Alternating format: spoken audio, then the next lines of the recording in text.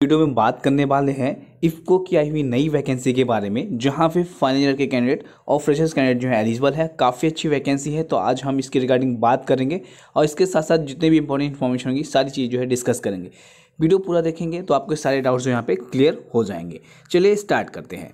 तो सबसे पहले दोस्तों, यहाँ पे जो इफ़को वैकेंसी आई है, वो एग्रीकल्चर ग्रेजुएट ट्रेनिंग के लिए जो वैकेंसी आई है इनिशियली जो आपको ट्रेनिंग में रखा जाएगा, इसके बाद जो है यहाँ पे परमानेंट कर दिया जाएगा। तो यहाँ पे जो क्वालिफिकेशन रखा गया है, उसके रिगार्डिंग मैं बात करता हूँ दोस्तों तो यहाँ पे जो क्वालिफिकेशन है बीएससी इन एग्रीकल्चर के कैंडिडेट जो है फॉर्म को यहाँ पे फिलअप कर सकते हैं। अगर आप फाइनल ईयर में है, या फिर आपका फाइनल सेमेस्टर है, और आपका जो रिज़ल्ट है नवंबर टू में आ जाएगा तो आप जो है यहाँ पे फाइनल ईयर वाले भी कैंडिडेट यहाँ पर अप्लाई कर सकते हैं।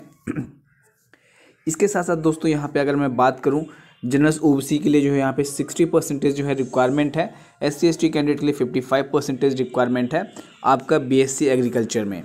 अगर आपका सी जी पी ए है दोस्तों तो आप जो है सी जी पी ए को कन्वर्ट करेंगे परसेंटेज में। तो ये ध्यान रखिएगा, जैसा कि यहाँ पे दिया गया है, जब आप फॉर्म फिलअप करेंगे तो वहाँ पे जो है आपको परसेंटेज में डालना है। इसका दोस्तों, यहाँ पे जो कैंडिडेट हैं, जिन्होंने पास कर रखा है B S C agriculture in the year of twenty two they can also apply तो ध्यान रखिएगा यहाँ पे बीस इक्कीस बाईस तेईस हर एक कैंडिडेट जो अप्लाई कर सकता है। अब यहाँ पे जो मैक्सिमम एज लिमिट है दोस्तों तीस साल रखी गई है। बाकी जो रिलैक्सेशन है वो आपको यहाँ पे दिया जाएगा आपके कैटेगरी के हिसाब से जो मिलती है। अब दोस्तों इस जॉब की जो जॉब लोकेशन है ऑल ओवर इंडिया में होने वाली है। और यहाँ पे ध्यान रखिएगा आपको जो है आ, हर एक जिस मान लीजिए अब जिस स्टेट के लिए अप्लाई कर रहे हैं उस स्टेट का रीजनल लैंग्वेज आना ज़रूरी है। तो देखिए, यहाँ पे इनिशियली होगा क्या? सबसे पहले तो आपको जो है इनिशियली ट्रेनिंग में रखा जाएगा। ट्रेनिंग के दौरान दोस्तों, आपको एक साल का ट्रेनिंग होगा। ट्रेनिंग के दौरान आपको जो है thirty three thousand per month दिया जाएगा। ट्रेनिंग कंप्लीट होने के बाद दोस्तों, यहाँ पे जो है, जैसे लिखा गया है कि आपको जो है यहाँ पे रेगुलर कर दिया जाएगा और जो आपका रेगुलर पे है दोस्तों, वो जो है सैंतीस से लेकर सत्तर हज़ार तक रहेगा। इसके साथ साथ जो आपके अलाउंस ऑफ़ बेनिफिट होते हैं, वो सारी चीज़ें जो यहाँ पर मिलेगी। अब दोस्तों, यहाँ पे देखिए सर्विस बॉन्ड भी है। सर्विस बॉन्ड दोस्तों, जब आप जॉब छोड़ते हैं, तब के लिए अप्लीकेबल होता है। जहाँ पे दोस्तों, जब आप छोड़ेंगे, जैसे एक साल के अंदर अगर आप तीन साल के अंदर छोड़ देते हैं तो आपको जो है, अगर जनरल ओ बी हैं तो अस्सी हज़ार, अगर आप एस सी हैं तो आपको जो है, बीस हज़ार देना पड़ेगा। अगर तीन साल के बाद छोड़े तो आपको कोई भी मतलब कोई भी ये बॉन्ड जो है एप्लीकेबल नहीं रहेगा। तो ये सिर्फ़ बॉन्ड है। आप अपने अकॉर्डिंग यहाँ पे रहने वाला है। अब यहाँ पे दोस्तों जो सिलेक्शन प्रोसीजर है, उसकी रिगार्डिंग मैं बात करता हूँ। तो देखिए यहाँ पे जो सिलेक्शन प्रोसीजर है, उसमें जो है कंप्यूटर बेस्ड एग्जामिनेशन होगा, जो ऑनलाइन होगा। और यहाँ पे दोस्तों मैं आपको बता दूँ, जो इसका प्री का ऑनलाइन टेस्ट एग्ज़ाम होगा, वो जो है आपको यहाँ पे अगर आप प्री का एग्जामिनेशन जो कैंडिडेट जो शॉर्टलिस्ट होंगे performance on the based of online test वो जो है फाइनल ऑनलाइन टेस्ट के बुलाए जाएँगे। तो फाइन ऑनलाइन टेस्ट कहाँ पे होगा? ये दिया गया है एग्जामिनेशन सेंटर दिया गया है। अहमदाबाद, बेंगलुरु, दिल्ली, कोलकाता, चेन्नई, लखनऊ, नागपुर, गुवाहाटी, पटना, रायपुर, सूरत, वाराणसी, चंडीगढ़, देहरादून, पुणे, हैदराबाद, जबलपुर, भोपाल, शिमला, जम्मू, जोधपुर, कोचिन, विजयवाड़ा। ये सब जो है दोस्तों, इसका एग्जामिनेशन सेंटर है।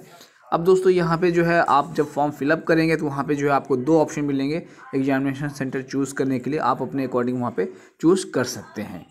तो ये हो गया दोस्तों यहाँ पे सिलेक्शन प्रोसीजर जो फाइनल सिलेक्शन प्रोसीजर दोस्तों, आपका ऑनलाइन टेस्ट और इसके बाद जो है आपको पर्सनल इंटरव्यू बुलाया जाएगा, उसके बेसिस पे यहाँ पे लिया जाएगा। अब दोस्तों फॉर्म को कैसे अप्लाई करना है? तो फॉर्म को अप्लाई करने के लिए देखिए, कोई भी अभी एप्लीकेशन फ़ी नहीं लिया जा रहा है और यहाँ पे जो है आप फॉर्म को अप्लाई कर सकते हैं सात अक्टूबर 2023 तक। जी हाँ दोस्तों, सात अक्टूबर 2023 तक जो है इसकी लास्ट डेट है, इससे पहले जो आप अप्लाई कर लीजिए। कहाँ से अप्लाई करना है, ये देखिए, ये जो है, इस लिंक पे मैं आपको दे दूँगा। ये लिंक पे आप डायरेक्ट जाके फॉर्म को फिलअप कर सकते हैं।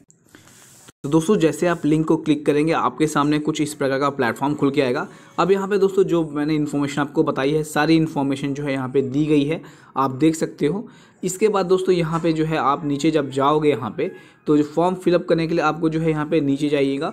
यहाँ पे सबसे पहले आपको जो है रजिस्ट्रेशन करना है। क्लिक हेयर फॉर रजिस्ट्रेशन पे क्लिक करना है।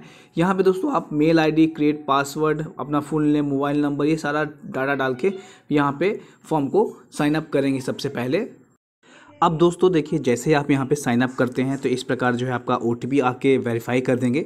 तो आपका वेरीफाई हो जाएगा। यहाँ पे जो है चार स्टेप में जो है आपको फॉर्म को फिलअप करना है। पहला स्टेप दोस्तों, आपको अपना full name mobile number mail ID आपको अपना जेंडर यहाँ पे सेलेक्ट करना है। यहाँ पे आपको अपनी कैटेगरी बतानी है, जो भी आपकी कैटेगरी है। यहाँ पे father's name occupation metal martial status इसका मतलब ये होता है दोस्तों, आप मैरिड हैं कि सिंगल है। आप अपने अकॉर्डिंग यहाँ पे जो भी है सेलेक्ट कर सकते हैं। डेट ऑफ़ बर्थ इसके बाद दोस्तों अगर आप इम्प्लॉय हैं, इफ़को के आपका सन डाटर कोई भी है तो आप ये में यहाँ पे जवाब दे सकते हो। अब यहाँ पे देखिए, सबसे पहले जॉब लोकेशन आपको स्टेट यहाँ पे सेलेक्ट करना है। जो भी आप अपना स्टेट है, वो स्टेट से यहाँ पे सेलेक्ट कीजिए। मान लीजिए दोस्तों, आपको स्टेट कोई सा भी सिलेक्ट करें, उस स्टेट का लैंग्वेज जो आपको आना चाहिए। इसके बाद दोस्तों, आपको यहाँ पे PAN card number Aadhaar number और प्रेजेंट एड्रेस आपका स्टेट डिस्ट्रिक्ट ये सारा इन्फॉर्मेशन जो है फिलअप कर देना है। फिलअप करने के बाद यहाँ पे देखिए एग्जामिनेशन सेंटर के रिगार्डिंग इन्फॉर्मेशन आता है तो आपको यहाँ पे एग्जामिनेशन सेंटर सिटी डाल देना है। जब आप ये सारी इन्फॉर्मेशन डालेंगे तो अपने आप ऑटोमेटिक आ जाएगा। पिन कोड डाल के यहाँ पे सेवन नेक्स्ट पे करेंगे। इसके बाद जो है आप सेकेंड स्टेप पे लिए जाएँगे। सेकेंड स्टेप में आप जो है फॉर्म को यहाँ पे फिलअप करेंगे। इसके बाद जो है थर्ड स्टेप में, जहाँ पे आपको फ़ोटो सिग्नेचर ये सारा इन्फॉर्मेशन मांगा जाएगा। इसी प्रकार आप फोर्थ स्टेप में जो है फॉर्म को फिलअप कर लेंगे। तो इस प्रकार दोस्तों आप फॉर्म को फिलअप कर सकते हैं। वीडियो पसंद आया हो, ज़रूर लाइक कीजिएगा शेयर कीजिएगा। तो सात अक्टूबर 2023 से पहले जो है, ज़रूर फॉर्म को फिलअप कीजिए, अगर आप यहाँ पर एलिजिबल हैं। वीडियो कैसा लगा कमेंट करके ज़रूर बताएँ।